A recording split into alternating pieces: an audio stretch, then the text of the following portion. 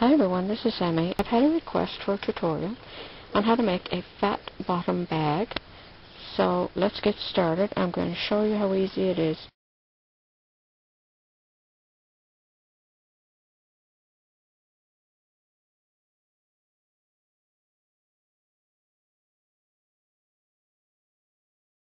I could show you a more complicated way to make these bags, but if you follow my channel you know that I usually try to make things as simple as possible.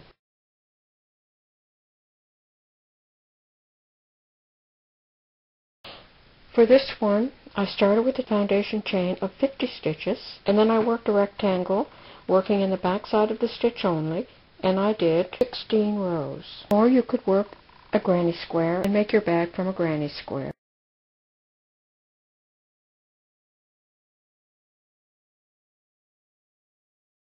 If you want to line your bag, you should do that before we start decreasing the stitches. To line your bag, just place it on a piece of fabric. This is just one of my husband's old shirts. And you're going to cut it out exactly the same as your rectangle. And then you're going to pin it all the way around, turning it in so that you still have access to the stitches. If you have a sewing machine, you could sew this with a zigzag or you can just go around and sew it on with a needle and thread. Like that. So just sew that all the way around. Okay so I'm going to finish this demonstration using the granny square. So you're just going to bring your yarn through and chain one. So now I'm going to show you a new procedure and it's going to be a three stitch decrease. So I'm going to go into one stitch come out through the other stitch and back in through the third stitch I'm going to pick up the yarn and I'm going to bring it through all those stitches and complete my single crochet. Okay, so in through one stitch, out through the next, in through the third stitch, pick up the yarn and bring it through and complete the single crochet. So I'm going to do that all the way across this row. Okay, I've worked all the way across the row and you can see that this has gathered up this row of stitches. Now I'm going to chain one and turn. I'm going to single crochet across to this side and I'm going to repeat that for four rows. So chain one and turn, single crochet in each stitch across the row.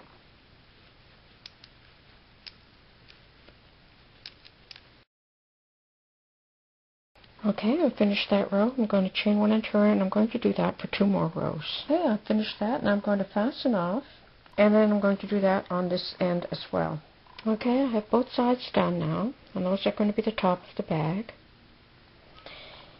And I'm going to go along this edge. Okay, I've worked up all up that side. Now I'm going to fasten off. And I'm going to come over here, and I'm going to do the same thing. Okay, I have both sides decreased here. And I'm also going to pass a cord through here. I'll show you that after. Just so that I can close this up if I want to. So now comes the handle. Take eight strands of worsted weight yarn, you crochet a chain with a large hook, and then I'm going to cut these and use them as tassels at the end. I'm going to attach my bag handle on the outside, and I'm going to have these little tassels. So I have matching yarn in a yarn needle. I'm just going to attach by passing the needle through that yarn just above the knot so that gets good and secure. I'll just get another good stitch there. And then I'm going to place my bag handle on and I'm going to sew it. Okay, like that.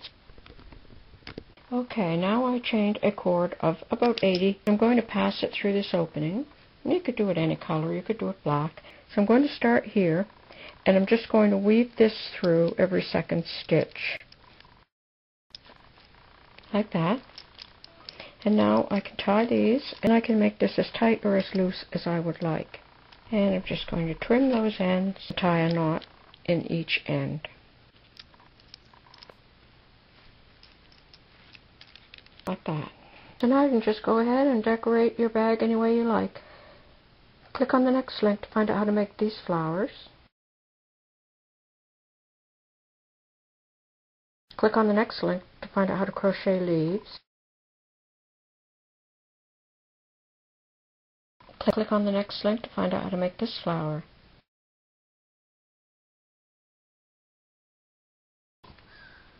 So there you go. I hope you enjoyed seeing how easy it is to make these fat bottom bags.